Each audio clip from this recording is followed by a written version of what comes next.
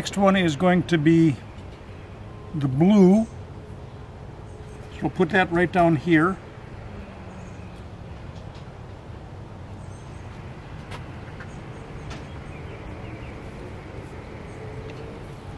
Wow, that one really shows up.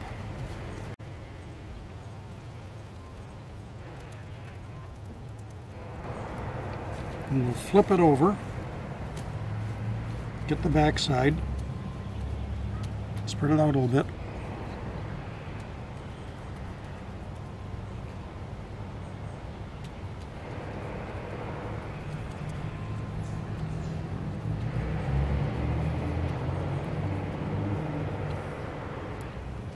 That's the blue. Grab the paper towel.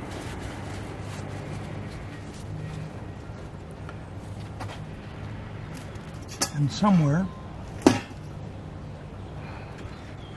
I thought I had another one of these sponges. Yes, I do. So there you go. This is a clean one, never been used. And now we'll put the red over here.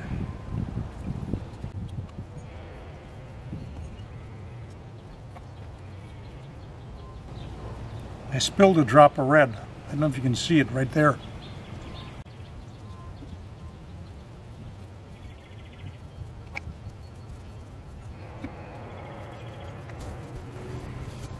Flip it over.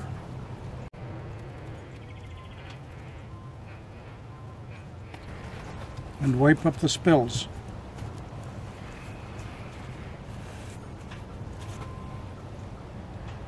One more spot doesn't look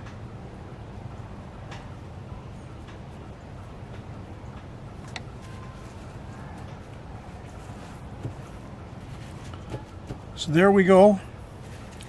That's the dye application. Now the next thing that I saw in the video that I watched was that she rolled the thing up in plastic wrap and then steamed it. So I hope I've got enough plastic wrap.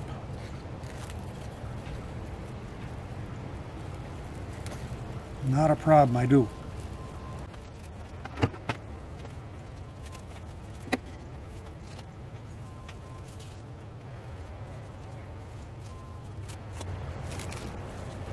And I think what I want to do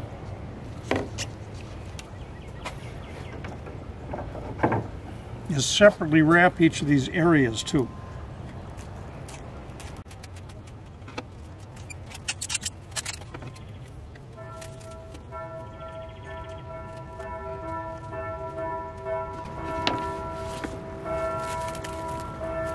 So I'm going to wrap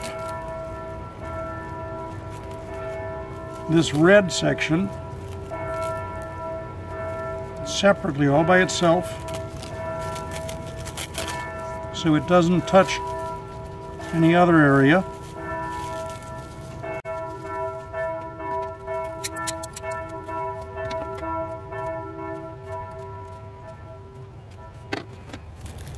And wrap this blue area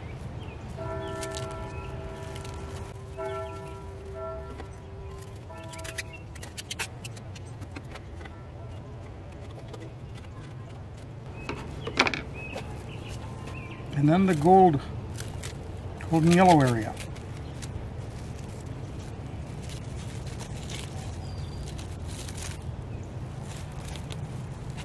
Now, she didn't do this, and I don't know how critical it is, but I just don't want to take a chance of spreading these colors too much more than I'm already doing. Now we'll, then she rolled up the whole thing and steamed it. So we'll try effectively rolling up the whole thing.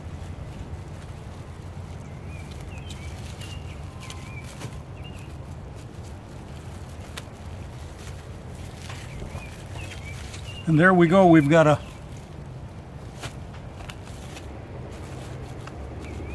get back in there.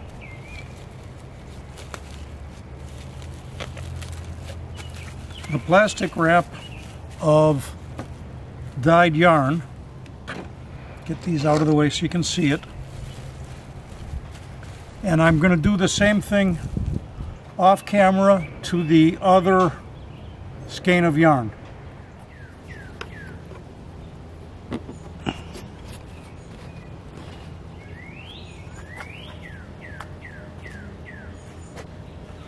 Okay, so the next thing that Rebecca from Chemnitz did was she put hers in a basket to steam. She had like a spaghetti basket. I don't, but the we've got one of these big canning things, a canning pot, and it's one we bought. I can't remember. It was either St. Vincent de Paul or Goodwill, a real bargain. So now I'm only going to use it for dyeing. So I'm going to put these in there. And I've got that on the stove inside, nicely steaming away. So I'll take this inside and give it, I can't remember, did she do 20, 30, or 40 minutes of steaming? I don't remember. But I'm going to go for about a half an hour's worth and see what happens. So this is going to go inside with me and we'll see what happens after that.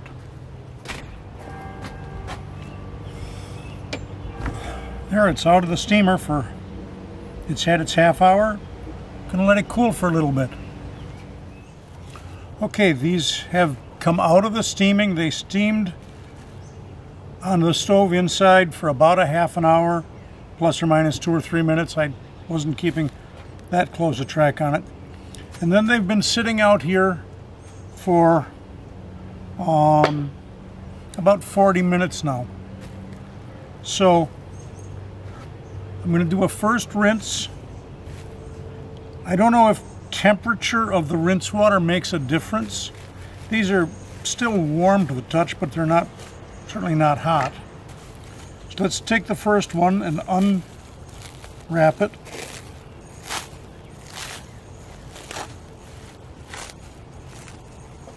and the rinse water is um, cold.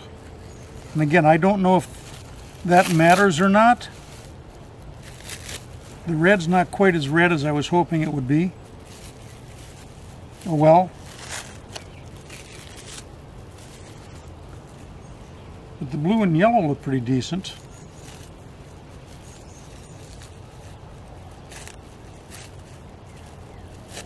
I'm, I don't know what it is that sets the color, but I'm thinking it's that heat.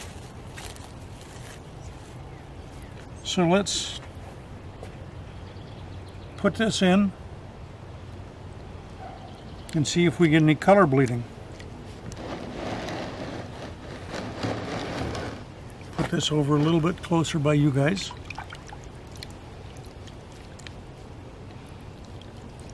I'm not really seeing anything.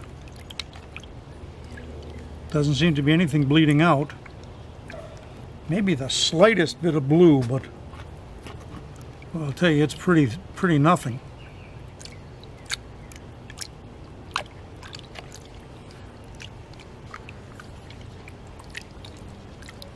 That's one.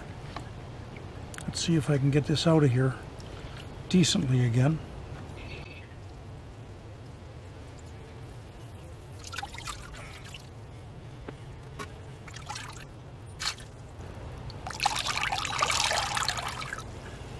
Going to hang them probably in the shower stall to dry. But for now, just a good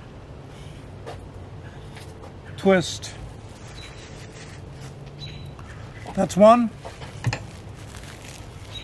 Let's unwrap the other one. I did a better job of wrapping on the second one here. Much better.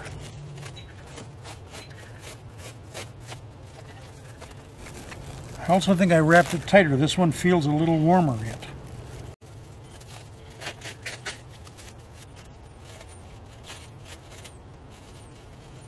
So if I do this again, I'm going to go with a little bit more concentrate on the red. So it's not quite as light a red or almost a pink. There we are.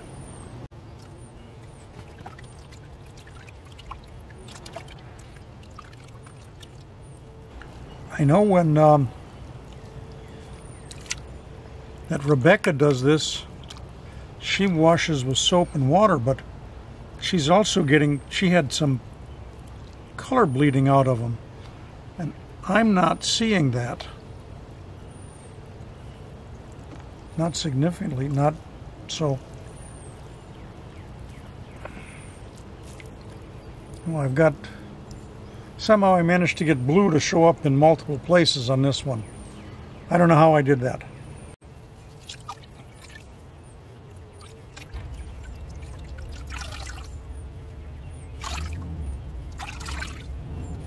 And uh, again, as I've said, this is my first time trying this. So I don't know if this is, if I'm doing it right or wrong. Okay, these are, there they are. Um, I'm going to take them inside and hang them uh, to dry in the shower so that if they drip they don't get all over a floor that's important. I'm looking down at the white bucket full of water. I see a very extremely light shade of blue in there. But I think it's safe to say this is as done as I'm going to get them. We'll find out. Who knows if this will work or not. But um, if it does, well, the next step will be to show you how these look after they're dry and then finally to um, try using them to make a scarf of some sort. That's the goal at least. So next thing probably be a day or two from now after they've hung to dry and we'll see how they look once they're dried out.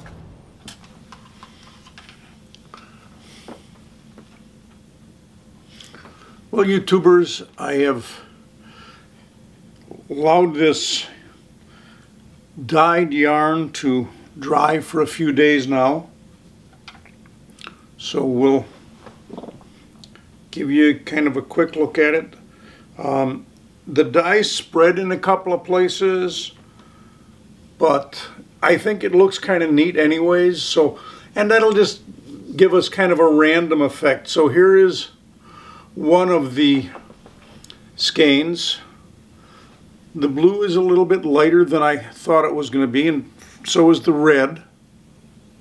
It's almost a pink. The yellow is a little bit lighter also. But I still think it's going to look neat. At least I'm I have great high hopes. So there's one skein. Set that down. And here comes the other one. Oops. Again. So, you know, see, I've got a random spot of blue that showed up. God knows why, but it did. Same way with a random bit of red that showed next to the rest of the red. Um, but I, again, I think this will add just a little bit of um, interest, randomness, whatever you want to call it, to um, when I make something. My intention is to hopefully to make a scarf. Um, I'll work out the details on that later. But I wanted to just show you what I've accomplished um, with my first attempt at using RIT liquid dyes on some, um, I think it's called wool of the Andes. I've forgotten exactly what kind of wool it is. So there's what I got, two skeins worth. And that's the end of this project. Um, just for giggles, I've also taken a few other little projects that have been finished lately on the Inkle loom. I got myself a new pair of suspenders. They're um, carpet warp. And again, this is an, an experiment. I tried doing um, a pickup of a Baltic pattern, but it was way too putsy. I just got really tired of it. So then I finished off that project and just made a strap like this. So those are a couple other little inkle projects that I was working on in over the last couple of weeks. So there you go, that's that. Hey, give me a thumbs up if you like my videos. Subscribe if you think uh, you really like my videos. And I'll catch you the next time around on YouTube. Bye-bye.